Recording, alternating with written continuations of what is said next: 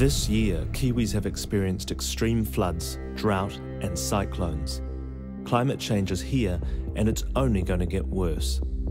It's already threatening our homes, our health, and our families. And the oil industry and its political cronies don't care.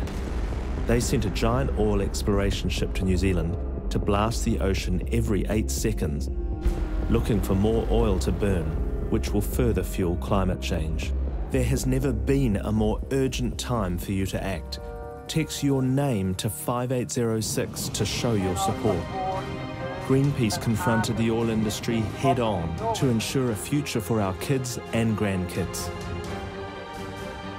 We will continue to be part of the movement demanding action on climate change. Join Greenpeace in securing a future for all New Zealanders. Text your name to 5806 now.